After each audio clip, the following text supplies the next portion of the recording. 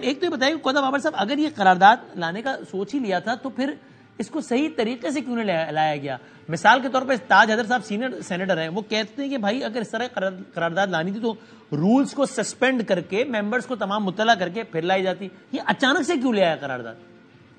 ये देखें, आज से पहले क्या रूल को सस्पेंड करके करारदादें, बिल्स और बहुत सारी चीज़ें नहीं लेकर आई? क्या ये हक सिर्फ़ पाकिस्तान की बहुत बड़ी पॉलिटिकल पार्टीज़ को हासिल है कि वो इनको अपने मेंबर्स को बुलाएँ और अपने मेंबर्स को भी ना पता हो और उनको बताए बताए बगैर ही कोई बिल पास करा दें आइन में तरमीम कर दें करारदाद पेश कर दें। हमने तो मशा, मशावरत की। हमने तो दो दिन पहले बैठकर हम सब लोगों ने मशावरत कितने लोगों ने मुशावरत की? हम लोग जितने भी आज़ाद और बाप पार्टी के हमारे दोस्त हैं उन सब लोगों ने मशावरत की। हम लोगों ने मशावरत के बाद सर क्या, क्या आपकी ये कोशिश नहीं थी कि आपकी इस करारदाद को ज़्यादा से ज़्यादा लोगों की हिमायत हासिल हो जाए? तो चले रूल्स प्रोसीजर को छोड़ देता हूँ मैं टेक्निकलिटीज को। आपने ये क्यों नहीं चाहा कि ज़्यादा से ज़्यादा सेनेटर्स हो ताकि इस पे हेल्दी डिबेट हो ज़्यादा लोग इसकी हिमायत करें? ये क्यों कि बस तेरह चौदह रहेगा और आपने पास कर दी आपने पेश कर दी? देखें देखें एक बात तो क्लियर होनी चाहिए। हमें हमारे हम ख्याल जितने भी दोस्त थे हमने उनके साथ मशावरत की हमने टेबल किया उसको। हमने किसी सेनेटर को ना रोका। ना चेयरमैन सेनेट ने किसी सेनेटर को आने से रोका वहाँ पर। देखिए चेयरमैन सेनेट ने अब ये बहाना बनाया जा रहा है कि जी सेनेट का जो है इजलास जो है जुम्मे के बाद रखा गया। वो जुम्मे से पहले जब जुम्मे की नमाज़ की बात कर रहा हूँ। जुम्मे की नमाज़ से पहले जब ये बात चल रही थी तो वहाँ पर तो ब्रेक लिया गया ना। किसी को मना तो नहीं किया गया कि आप नहीं आ सकते। नहीं, मना नहीं तो, मैं, मैं पूछ रहा हूँ बाकी पार्टीज़ के लोगों को आपने इस बारे में मुतला करना क्यों ज़रूरी नहीं समझा कि हम ये करारदाद ला रहे हैं? आप भी हिमायत कीजिए। हमने टेबल पे रखा उसको करारदाद को टेबल ने थे जिसकी हिमायत हासिल होनी थी वो पता चल जाती नहीं होनी थी वो भी पता चल जाती। कितने लोग थे ऐवान में जो उसकी हिमायत में मुखालफत करते? कोरम तक तो पूरा था नहीं उस दिन उस वक्त। तो आप में से कोई उनमें से कोई जो बंदे वहाँ पे मुस्लिम लीग नून के भी हमारे सेनेटर अफनान थे जो मुखालफत कर रहे थे वो खड़े होकर कौरम की निशानदेही करते और बोलते हैं मुझे ये कबूल नहीं है। लेकिन ये बात नहीं है। लेकिन मैं पूछ रहा हूँ आपने कोरम की मौजूदगी में क्यों नहीं किया? मैं ये पूछ रहा हूँ उनका तो मैं हमने हमें तो हमें तो ये आइडिया नहीं था। मैं तो पहले ही बता चुका हूँ रजा रब्बानी साहब के दौर में दो सेनेटर होते थे मौजूद सिर्फ़ ऑल में और वो पूरा चलता रहता था ऑल सेशन पूरा चलता रहता था तकरीरें करते थे दो लोग थे दो लोग दो घंटे तक तकरीरें करते थे। किसी ने कभी तक ये प्रैक्टिस नहीं होता हमारे पास। ये प्रैक्टिस अच्छा, नहीं और होता ये बेसिक आइडिया किसका था सर? कि यार ये, ये करारदाद लानी चाहिए किसकी तजवीज थी? ये तजवीज हमें लेकर आए दिलावर खान साहब हमारे हमारे पास। उन्होंने हमें बताया कि इस तरह का उनका प्रोग्राम है ये करना चाहते हैं इस तरह की करारदाद लेना चाहते हैं। लेकिन उसके साथ साथ जो हमने अपने अपने इलाके के हालात देखे हमें जो लगा कि बलूचिस्तान में केपीके में केपीके के भी दोस्त हैं हमारे साथ हमारा काफ़ी क्लोज एक रिलेशन है आपस में। हम ये कभी भी नहीं हम ये सोच भी नहीं सकते थे कि उस दिन वहाँ पे मेंबर्स नहीं आएँगे।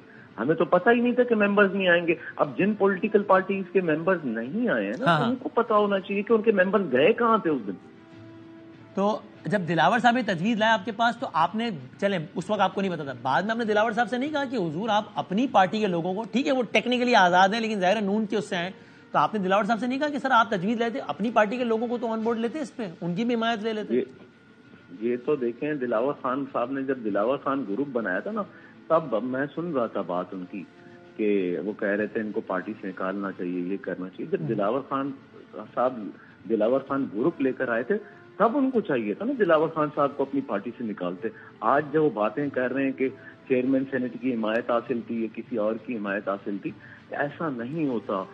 जब चेयरमैन सेनेट उनके लिए रूल सस्पेंड कर सकते हैं, तब वो बड़े राज़ी होते हैं। आज अगर उन्होंने हम जैसे बलूचिस्तान और केपीके के लोगों के लिए जिनकी कोई नुमाइंदगी नहीं होती ना होने के बराबर नुमाइंदगी होती है कौमी असेंबली में। सेनेट जैसे फेडरेशन हाउस कहते हैं हम लोग वहाँ पर अगर हमारी बात हो जाती है तो फिर अगर हमारी बात सुनने के लिए भी वो राज़ी नहीं है यही तो मैं कहता हूँ बड़ी पार्टियाँ सिर्फ़ अब आप पीपल्स पार्टी और मुस्लिम लीग उनसे पूछे उनको क्या चाहिए? वज़ीर आज़म अभी कह रहे थे जनाब आपके प्रोग्राम में ही कि नवाज़ शरीफ वज़ीर आज़म वो कहते हैं बिलावल भुट्टो या कोई भी दोस्त उनका बनाए अपना वज़ीर आज़म आप हम्म। बिल्कुल बनाए अपना वज़ीर आज़म लेकिन ये तो नहीं होता कि आप हम जैसे मुंतखब नुमाइंदे की बात भी ना सुने। अच्छा वो आप लोग के हवाले से हमेशा एक, एक फिक्रा भी बड़ा मशहूर हुआ बाप पार्टी कहते हैं जनाब बाप का बाप जब राज़ी हो तो वही वो सब। तो ये अब इस इंप्रेशन को कैसे ज़ाहिर करेंगे कि कहीं किसी और कहीं और से तो इशारा नहीं था कि भाई ये करारदाद लाएँ? बाप की पार्टी के बाप की बात जो कर रहे थे, अभी कुछ दिनों पहले इसी बाप पार्टी के बहुत सारे बहुत सारे दोस्त जो पिछली दफ़ा मुंतखब होकर आए थे, वो इन्हीं दोनों पार्टियों में गए। इनसे पूछे जरा वो कहाँ से आए आपके पास? हम्म। इस करारदाद की कानूनी हैसियत तो कोई नहीं है ना? सिवाय ऐसे थे कि सेनेट में कुछ लोगों ने करारदाद पास कर दी, लेकिन ये अमलन तो इलेक्शन की में एक मिनट की भी ताखिर का बाइस ये करारदाद तो नहीं बन सकती ना? नहीं ये तो बिल्कुल ऐसा तो नहीं है कि अमलन ये किसी भी ताखिर का बायस बने लेकिन हमारी जो करारदाद है उसको इन लोगों को देखना तो पड़ेगा ना। हमें जवाब तो देना पड़ेगा सेनेट को। वो जवाब उन्होंने दे दिया जवाब उन्होंने कहा कि जनाब सुप्रीम कोर्ट ऑफ़ पाकिस्तान के चीफ जस्टिस ने कह दिया आठ को इलेक्शन होंगे। सेनेट ने अकवा मुतहदा करारदाद लिया इलेक्शन तो होंगे। ये जवाब दे दिया उन्होंने आपको। तो फिर अकवा मुतहदा की करारदाद तो कश्मीर के लिए उसी तरह इंडिया भी नहीं मानती तो वो गलत नहीं गलत है ना वो? यही तो है, इंडिया जब गलत बात नहीं मान रही है तो उसको कहते हैं अकवा मुतहद कर आप सही बात को माने तो आप इस बात को तस्लीम तो करें कि बलूचिस्तान में, देखें ये जड़ावाला में, इस्लामाबाद में, गुजरात में, केपीके में क्या कहते हैं, कराची में, यहाँ इलेक्शन सिर्फ़ नहीं हो रहे। ये तुरबत मंद में, पंजगूर में, बाजोड़ में, आज हमारे जवान शहीद हुए हैं वहाँ पर। तो वो, ये ये अलग अलग क्यों कर रहे हैं चीज़ों को? ये पूरे पाकिस्तान को देखें उनके हालात को देखें प्लीज़ अगर आप तो खुद सेनेटर हैं भाई आखिरी बात अगर इलेक्शन नहीं होता आठ फरवरी को तो मार्च में सेनेट का इलेक्शन लगा हुआ है तो क्या होगा फिर? सेनेट कैसे इलेक्ट होगा? बादामी साहब मैं एक बात आपको क्लियर कर दूँ। जी। कोई भी पॉलिटिकल पार्टी इलेक्शंस के लिए ही पॉलिटिकल पार्टी बनती है। कोई भी इलेक्शन कोई भी पॉलिटिकल पार्टी इलेक्शन से फरार का रास्ता कभी नहीं अपनाएगी। वो ज़रूर चाहते हैं। हम लोग क्या चाहते हैं? हम सेनेटर बनना एम एन ए बनना एम पी ए बनना आवाम के लिए चाहते हैं। इलेक्शन होंगे तो हम वो बनेंगे।